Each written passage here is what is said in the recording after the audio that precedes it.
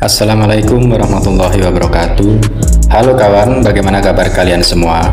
Semoga selalu diberi kesehatan dan kelancaran dalam beraktivitas. Amin.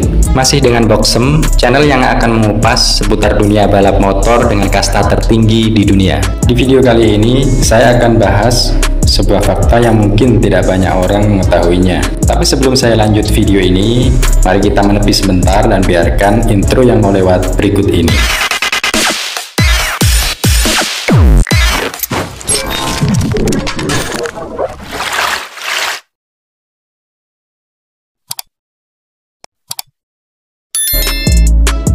Fakta yang akan saya bahas ini tentang harmoni antara Valentino Rossi dengan Ducati di tahun 2011 dan 2012.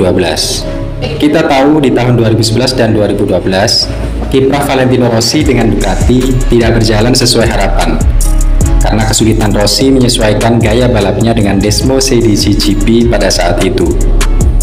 Tapi justru dengan kesulitannya, dia dan mekaniknya Jeremy Burgess mampu memecahkan solusi yang hasilnya sangat fantastis untuk Ducati yang berjalan hingga saat ini.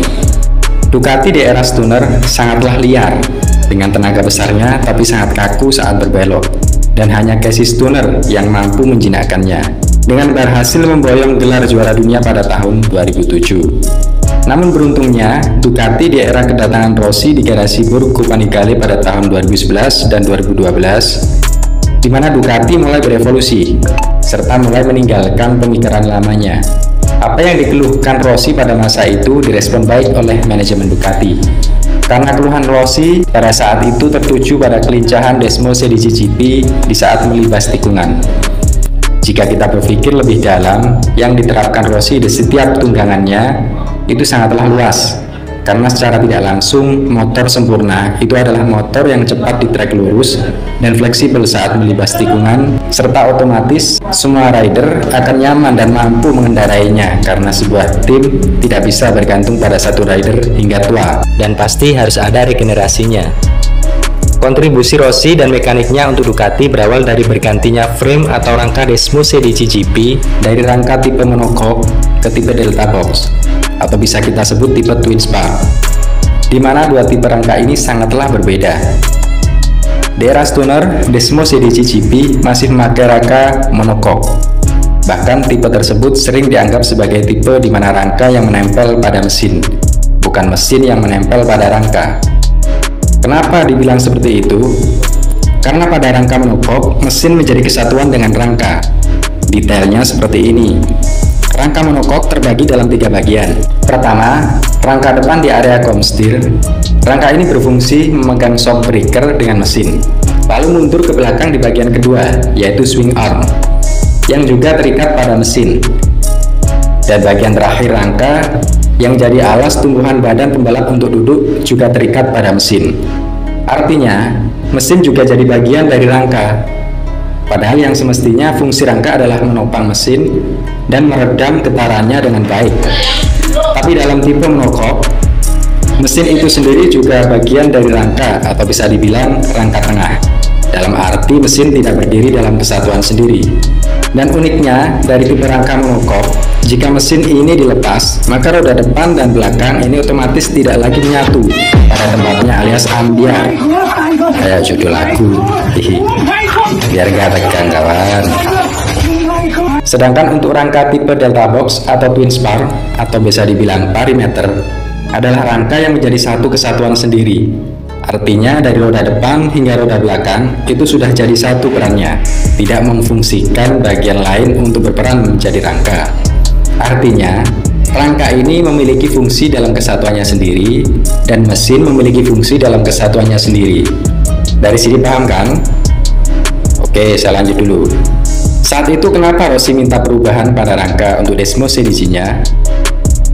Karena rangka tipe monokok memiliki kelemahan yaitu sedikit kaku dalam menikung, artinya kestabilan dalam melibas tikungan itu kurang pas karena kita semua tahu bahwa MotoGP adalah kasta tertinggi balap motor di dunia yang pastinya butuh kesempurnaan dan keseimbangan dalam semua aspek yang menempel pada motor.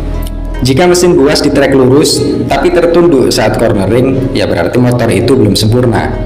karena mungkin hanya bisa dikendarai oleh orang-orang tertentu seperti halnya Casey Stoner pada saat itu sebelum Rossi datang di garasi Borgo Panigale.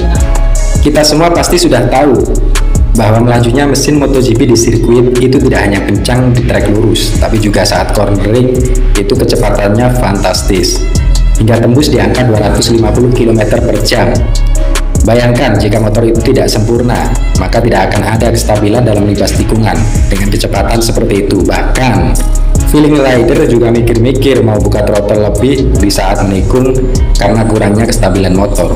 Dan kelemahan kedua rangka tipe monokok adalah rangka ini kurang fleksibel atau efektif karena ketika ada reset update rangka, maka mesin harus ikutan di-upgrade juga. Padahal di ajang balap MotoGP ada batasan jumlah mesin yang dipakai dan sudah disegel sebelum musim balap dimulai. Dan berikut adalah pengakuan dari Filippo Preziosi yang menjabat sebagai Ducati Technical Director pada saat itu. Dengan mesin bantalan beban, Anda mengalami masalah setiap kali Anda ingin memodifikasi sasis. Seringkali Anda harus menyegel mesin baru hanya karena ini, kata Filippo Preziosi. Sedangkan dengan tipe Delta Box, Rossi sendiri merasa jauh lebih nyaman di saat handling karena dirasa langkah racikan Jepang ini lebih mampu meredam buasnya tenaga mesin di saat melibas tikungan dalam arti lebih mampu menjaga kestabilan motor di saat cornering di mana kita tahu bahwa cara Rossi mengembangkan motor itu yang pertama tertuju pada handlingnya di saat belok serta maksimalnya grip roda belakang sehingga dapat memaksimalkan potensi motor baik di trek lurus maupun di tikungan atau pada saat cornering. Baru setelah itu pengembangan beralih pada mesin, seperti halnya yang pernah diterapkan Rossi pada saat kepindahannya ke Yamaha pada tahun 2003. Rossi pun mengutarakan kesan pertama setelah mencoba sasis Delta Box pada Desmo CDG GP-nya. Sepeda ini lebih enak dikendarai daripada 800cc, bahkan jika kami baru memulai pekerjaan kami. Anda dapat mengatakan bahwa itu meningkat dalam beberapa hal, sementara di lain itu sangat mirip dengan motor lain, tapi itulah yang kami harapkan, kata Rossi. Akhirnya mulai era Rossi sampai sekarang, sasis tipe ini masih dipakai oleh Ducati dengan perkembangan risetnya sampai saat ini yang mampu melahirkan motor puas tapi ramah dengan semua pembalapnya di mana kita tahu bahwa mulai Peko, Miller, Bastianini, Martin, Zarco, Marini, Bezzecchi, dan Fabio Gian Antonio pernah berada di barisan depan bahkan beberapa pembalapnya aktif dalam persaingan podium dengan pabrikan Jepang di setiap race-nya. Langkah besar yang diambil Rossi dan Ducati saat itu juga mendapat apresiasi oleh CEO Ducati Corse, Claudio Domenicali. Kami harus mengakui kalau Valentino Rossi tak punya hasil yang mengesankan dalam dua tahun bersama Ducati, ujar Domenicali, dilansir dari Paddock GP.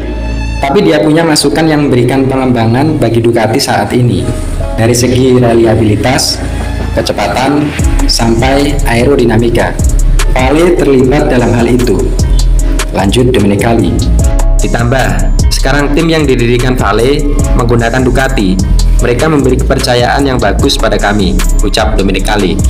Luca Marini dan Marco Bezzecchi berada di tahap yang semakin meningkat. Mereka adalah masa depan Ducati, lanjut Domenicali. Di sisi lain, Domenicali meyakini andai tahun lalu Rossi naik Desmo C di GP 21 seperti Pecco dan Miller, Rossi bisa tampil jauh lebih kompetitif ketimbang menaiki Yamaha sebagai catatan. GP21 memang sukses meraih total 22 podium termasuk 7 kemenangan dengan 5 rider berbeda sepanjang musim balap 2021. Dari fakta inilah kita bisa mengetahui kapasitas Rossi yang sebenarnya, di mana statusnya sebagai seorang pembalap hebat ternyata tidak cukup. Karena di setiap kepindahannya ke tim pabrikan lain, dia selalu memberi kontribusi nyata untuk pengembangan motor pada saat itu dan untuk masa depan. Dan perlu dicatat, dua tipe rangka yang saya jelaskan di atas pastinya memiliki kelebihan dan kekurangannya masing-masing. Karena riset yang dikembangkan setiap pabrikan pun tidak sembarangan, dan pastinya dilakukan oleh insinyur yang berpengalaman dan hebat. Terima kasih sudah menonton video ini. Jangan lupa jaga ibadah kalian sesuai keyakinan kalian masing-masing. Dan jangan lupa juga subscribe, like, komen, serta nyalakan tanda lonceng supaya tidak ketinggalan video terbaru dari saya. Dan mohon doa dan dukungannya, semoga channel ini bisa lebih berkembang ke depannya. Amin. Wassalamualaikum warahmatullahi wabarakatuh. See you next time and thank you for watching my video.